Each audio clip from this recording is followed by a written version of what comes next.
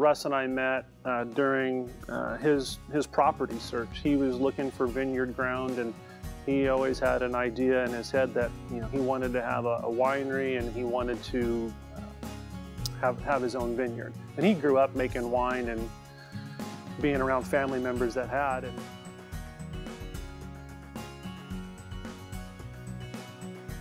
95 to 98 percent of what we do is all native fermentation, native ML. Uh, for whether it's Zin, Grenache, Mourvedre. When we sit down with our family and our good friends, is you know these wines are on the table and there's something we're it's something we're happy to drink and we always said if well look if we can't sell it then we're happy to drink it